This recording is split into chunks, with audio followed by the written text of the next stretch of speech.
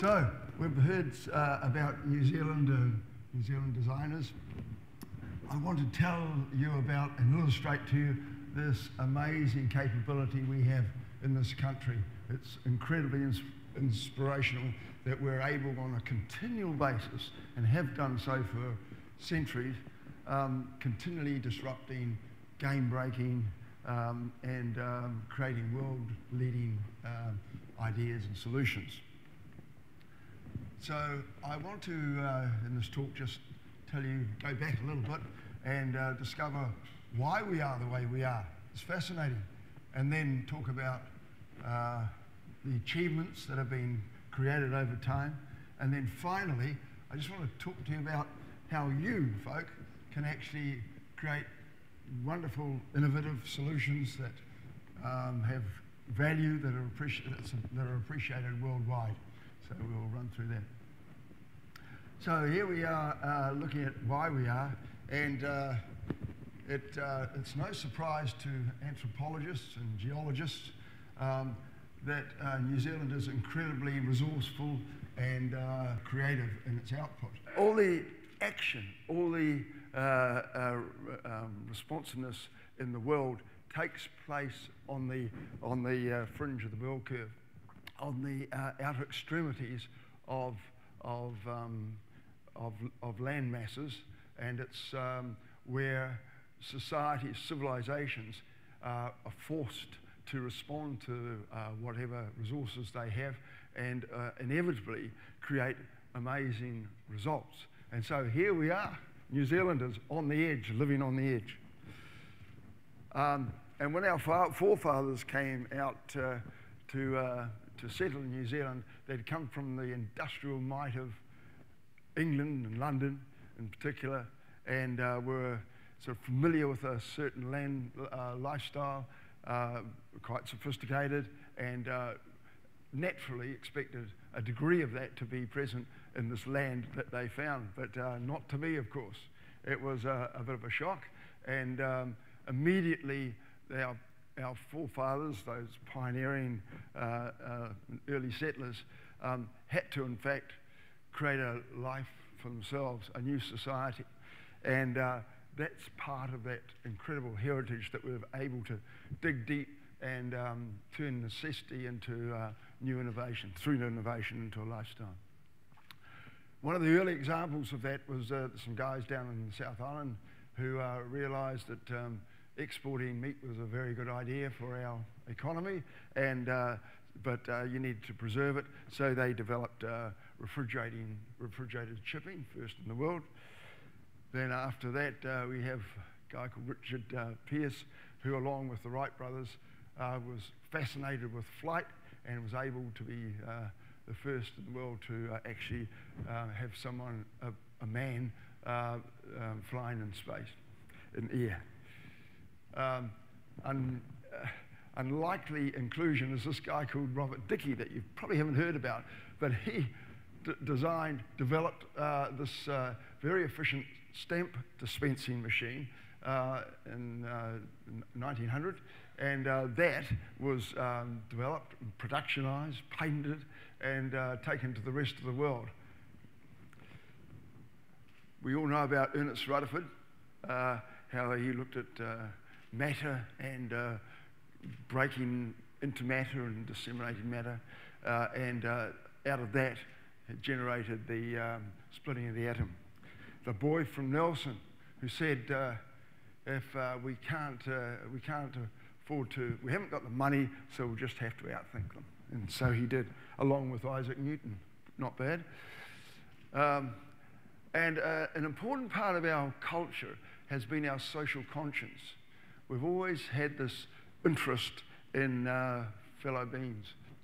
And uh, early on, the uh, women uh, gathered together, realizing that they need to be represented, better represented um, activated and uh, culminated in the suffragette movement with uh, Kate Sheppard. And then after the Second World War, uh, we had amazing social reform in New Zealand that transformed the country and became the benchmark and point of reference for the rest of the world for many decades. Bill Hamilton, uh, was on his farm in the South Island and realised that a prop boat wouldn't get him around his uh, farm in these, uh, these low, uh, shallow rivers. And um, so uh, looked at propulsion units for boats and uh, further developed it and to create the world's best jet propulsion unit, which has now become a sport and, and is sold worldwide. And dear old Ed Hillary down in the South Pole, exploring, doing his thing, and realizing that uh, uh, he needed better transportation. And so, what did he do? He just looked back at the farm and got another Fergie and, and uh, converted it, and uh, away they went.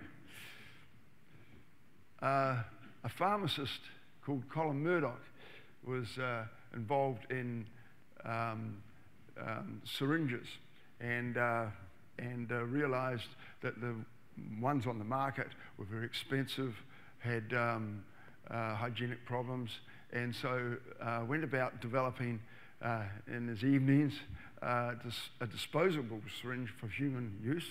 Um, it became so successful that he then, being involved in uh, veterinary uh, industry, developed it for animals as well, and that has sold worldwide and become a sort of standard in the market we have this wonderful guy, and I met one of the, uh, his colleagues, in fact, yesterday, uh, Bill Gallagher, um, who smartly realised that um, there's a limit to, uh, to uh, managing stock with uh, your number eight wire fencing, uh, and it's just force against force.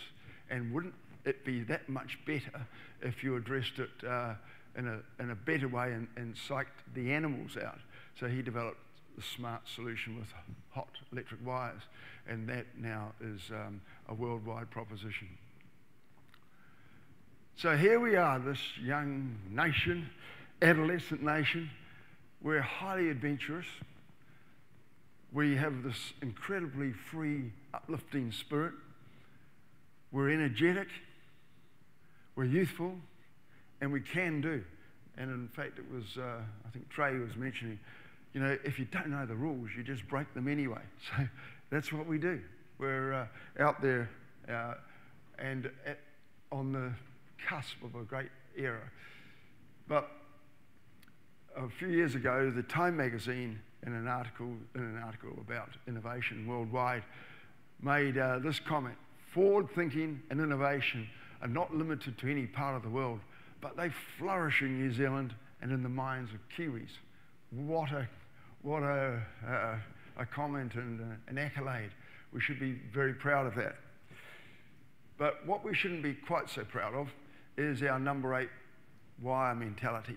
And whilst that served us really, really well, that we can do damn near anything with a number eight or anything else, we're, we're great improvisers, and uh, which has been proven from our forefathers. Um, uh, it is not a complete solution. It will solve the immediate problem in a sort of ad hoc, uh, basic way, but you need greater sophistication and in a world where it's uh, more complex and, and the demand for sophistication, we need to move beyond that into design thinking, design solutions that embrace uh, all aspects of, uh, of the needs of people. So um, that's the dimension that we're pursuing now. And uh, one of the early practitioners of that, in his own way, was John Britton. And what a wonderful machine he developed here that was uh, complete in that it's technically uh, um, you know, very, very uh, uh, um, advanced ahead of its time. It uh, was extraordinarily fast. It was aerodynamic. It had um, the aesthetic. It was, had the beautiful human interface aspects. He was, he was a sort of Renaissance designer in a way. He was complete. It was fantastic. And uh, why are we so good at sailing? It's not because our sailors study it all the time. It's because they're out there on the water doing it. And that's an important part of being uh, or having virtuosity in any area. You just got to do it. Get in there and feel you know, get your hands dirty, feel the, feel the water. And um, our sailors have become great designers, in particular Bruce Farr, who uh, has been responsible for a lot of the innovation in the America's Cup series um, and looked at all sorts of ways of working within the constraints of sailing and the rules. And, uh, and they developed some wonderful uh, responses. And uh, more recently, it was the New Zealand uh, team that uh, actually realized that you needed to get that seven ton of mass out of the water and have it flying in order to get some performance. So that's where they developed, that's why they developed the hydrofoil. And um, un unfortunately, some others came along and did quite well as well. So, mumble, mumble. mumble. I still haven't gotten over that, but anyway. We all know about our wonderful film industry and uh, how successful it's been, and the people behind it are a wee bit like the John Brittons of the world, extraordinary practitioners and visionaries. Peter Jackson has an amazing technical uh, uh, capability. He knows how to produce films and edit and, and um, organize uh, the troops to create it. But what really drives him is the excitement that anyone can get from the film, but in particular him. He's not interested in doing it unless it can uh, spin his wheels. And uh, it's very important that we actually have that passion and that feeling about what we do. Uh, an interesting inclusion here is a, um, a wonderful doctor called Professor Swee Tan, and he was in the uh, he was um, uh, in the New Zealander of the Year Award uh, finalist this year, and he is looking at, and with a research uh, team in Wellington, looking at um, non-invasive forms of cancer treatment. And he's had remarkable success, and he's gaining worldwide recognition and accolades. And he's looking at stem cell growth that all generates out of the placenta, and uh, it's a way, and it's a very primal uh, track that, need, that can be um, manipulated and diverted, and in some cases, those cells suffocated and they actually commit suicide. And uh, they're having an, an, association with that birthmark, uh, strawberry birthmarks. Uh, they're trialing and having amazing success. And what a, what a great disruptive, uh, productive, and constructive uh, contribution that is. And finally, the dish drawer we were so familiar with, but what a great bit of thinking. You know, why would you have a cupboard and putting stuff in it to clean when you could have a drawer that comes out in front of you and presents everything to you? It's a wee bit like, uh, I think it was Jen uh, uh, yesterday anyway, the, um, the example of the, uh, the bag with the wheels on it. It's so damned obvious and it works so well. Wonderful solution and highly disruptive on a world scale. And then I won't say anything about social media. Gosh, I'm social media out. Uh, but uh, Victoria Ransom. You've probably heard about her. She's this cool woman that we met over in, uh, at Google, and she created um, some um, so, uh, software for um, uh, social media that uh, it can be used in the marketing uh, area, and it's a, a, very clever ploy. But she came from a farm in Bulls, Rangitikei, went over to New York and elsewhere, and is now sold to Google. Great story. So, what we need to do, as opposed to number eight, wire mentality, is move up the value chain. And this diagram illustrates why we should be doing it. And it's a really chronic picture of where New Zealand stands. We're damn good at innovating, and we're damn good workers, and we're not very good at value, adding value.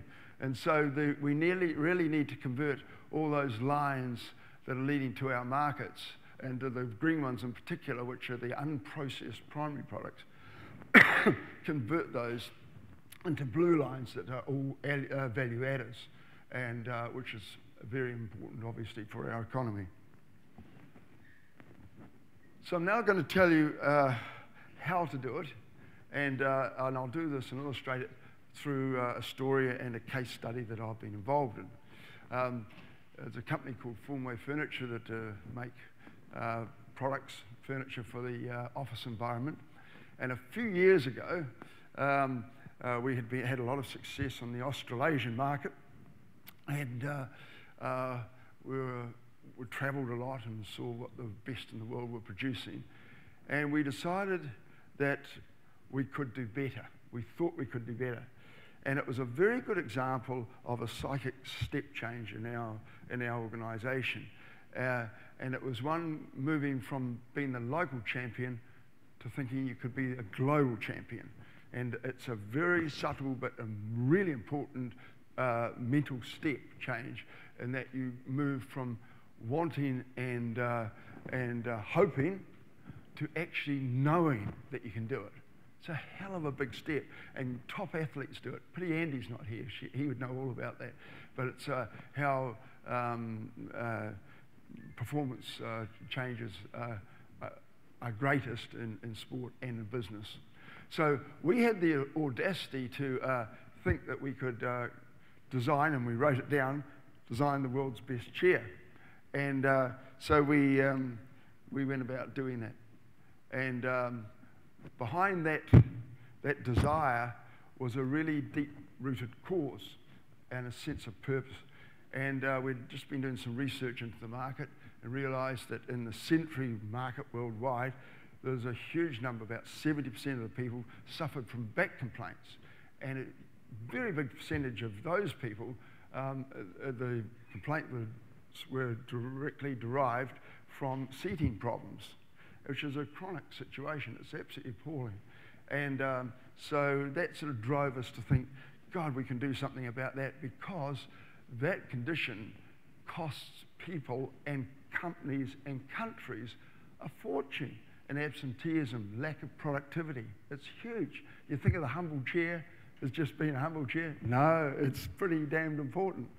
So we decided that uh, instead of just creating another chair, the world doesn't need another chair, but needs a great chair. So that was our purpose, our mission. And uh, so we went about it in a quite a structured way. We have a process here moving from discovery to designing the product and then to delivery, actually producing it.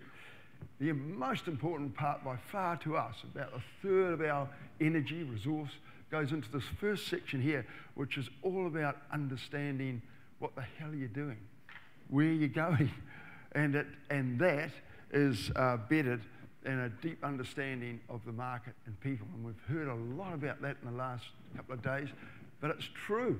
If you don't do that, you're just floating in the wind. You actually need to tie yourself back and understand that the answer isn't in here, it's out there.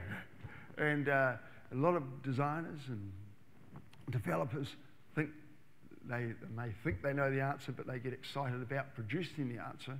And uh, so the idea is not to fall in love with the solution, but fall in love with the problem. Get at the ground level and dig deep. So what we do and what we did was dive deep, get under that sea of sameness at the top, and uh, look, for, look for something special. And if you dive deep enough, you tend to find some gold. And in a diagrammatic sense, uh, all that translates into data that you can't, you can't do without, and, and into um, information that you become highly informed and knowledgeable. I mean, the best in the world. You want to be more knowledgeable, as we were in the end, than our partners internationally. We knew more about the market, we knew no, more about people and their behaviour than, uh, th than our um, big clients overseas. And it's when you actually get that well informed and you really know a lot about it, you start seeing the problem from your own unique perspective. And it's fantastic because when you have, when you're in that space, you create great ideas. And they're your ideas because you're the one that's there and you see it in your own, in your own way. So, and that's where the value lies, lies, lies in the ideas, but they've got to be unique um, and genuine ideas, authentic. So what we did is develop this uh, um, um, trend map of the market.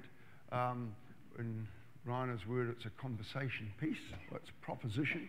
Uh, but what it does, it really takes you beyond the thing that you're doing, the product that you're actually doing, and contextualizes it in a historical way or within a marketplace. And this simply tracked back from the start of the Industrial Revolution, I think it was, and then, and then moves through time and what happened in the office environment to seating. And, and then in the final line on the right there, where we believed it was going to lead into what we call, refer to as live seating. That's this dynamic, responsive, intuitive um, uh, state. Uh, and then we did uh, create a market matrix, and the idea was just to see where the product opportunity gaps are.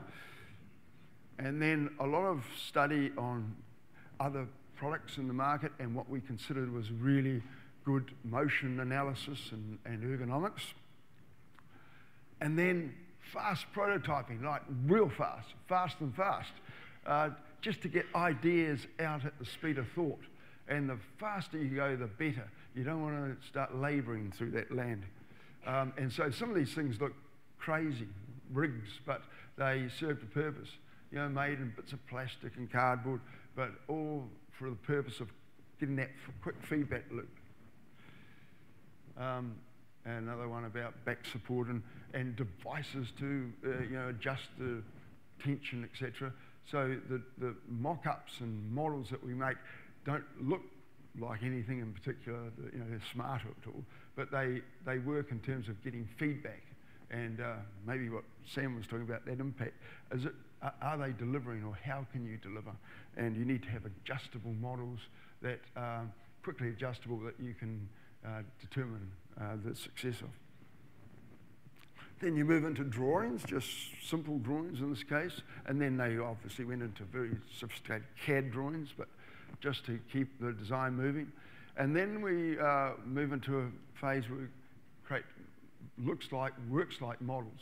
This is a bit more difficult, more sophisticated, but what you're able to do then is assess it from all points of view, from a, a user perspective, from a visual perspective, which is really important, from a manufacturing perspective. So we make all these parts.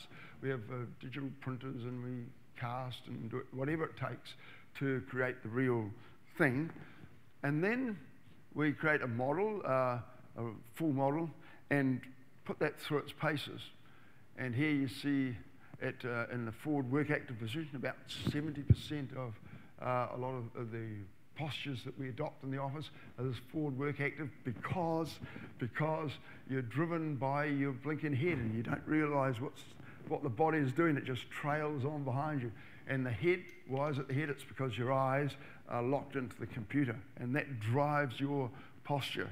Um, so we're addressing that and uh, the product adapts to that and allows legs to move independently. And as you recline back, it uh, supports all the back, the curvatures of your back, especially this, uh, the uh, lumbar area of your back, very important, and the upper body. And then finally, uh, allows you to flex and move. And I've got a chair here just to show and indicate that quickly. Here's a life chair, it's called, and life being about liveliness and, and uh, flexibility. So it has this ability to really flex. I don't know if you can see it, but it's, it's very accommodating and responsive.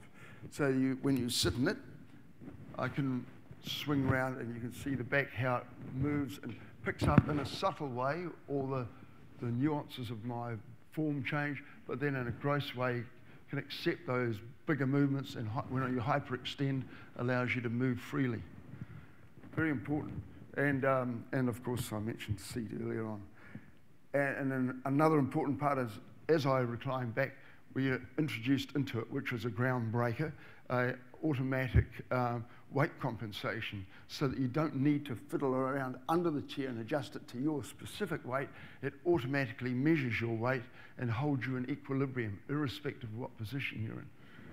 So that's the life chair. And then, and then in a minute, we'll show you this next chair uh. Um, we then took this product. Uh, no, we didn't take it. We, uh, Rick Wills is here. Here he is. Rick and I went to America and uh, um, sorted out the top companies in the world that we believed could distribute it most effectively for us uh, for a licensing agreement. And we found one in particular in New York called Knoll International, who we talked to about. We didn't show, we didn't dare show them anything at this stage because all the value was in the IP and we didn't want to spread it around. But we talked with uh, enthusiasm and authority about what we'd done, and they believed us. And to our utter amazement, they took us up on it, and we said, You've got to come to New Zealand. If you want to have this product, you've got to come down and, and see it. So, to the astonishment of their board, the top executives of Knoll came down to New Zealand and saw it. And as soon as they saw it, they, uh, they fell in love with it and they bought it. And so they started manufacturing it and, um, and all various guises for the world market. And they, unlike us, this is a, a Kiwi fault. We're these sort of self, we're very self-effacing and not very hot on the self-promotion. And so uh, Knoll picked it up and said, God, it's going in every award program there is around the world. And they did it, and it won about every one too. And uh, so that was a great springboard for the market, and it shows there the uh, options available. So through that relationship with this one product over that time, this has generated well over uh, a billion US dollars, just one product. And it's just, instead of falling off the top of the, uh, of the graph and into uh, sunset phase, it's just kept on in a steady growth rate. And uh, they believe will continue. So it's extraordinary if you put the work into it and understand it and have a genuine of difference and it, and it performs appropriately and it's a meaningful product, and it's certainly an environmental one, there's um, huge rewards to be gained. And of course, Knoll, with that success, uh, wanted us to do a lot of other work. And so, uh, so uh, we did another one, and, uh, and another one, and another one. But this is one of the new chairs that we've done. This is called the B chair. and uh, this is based on the same premise about live seating, but it's also what we call multimodal, and it moves a lot, but also allows you to um, work and sit in a number of postures. So it just means the, the next move, the next position is the best position. So you can move in a really easy, natural, fluid way around the product. You notice when I lean my arm over, the back collapses to support that. So it's a very interesting, responsive um, live product. Um, and uh, a byproduct, a, a, side story was the technology that went into it. And a wonderful story is about we work with Bayer in the States and uh, developing new uh, processes for, for this elastomer uh, material, which is something they'd never had before. Uh, and again, that creates that um, disruptive point of difference in the market. So 30% of the market uh, was when we, we had when, when we first arrived with Knoll. We've been involved with them for a number of years doing uh, more designs. And now a New Zealand design company represents 90% of their stable and turnover. Isn't that fantastic? And, and they're the Audi of, the, of Ventura.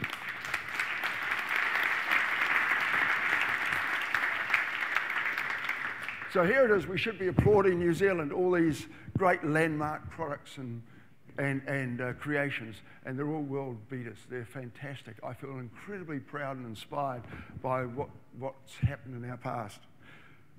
And so, so just to finish off, there are design schools in New Zealand that you can tap into if you want to develop this capability and take it for design schools will support you with students or programs you can hook into. Um, or Better by Design, as you well know, have these programs and coaches that can lead you through this, um, this um, path, and it can be a very uh, organized, discrete path.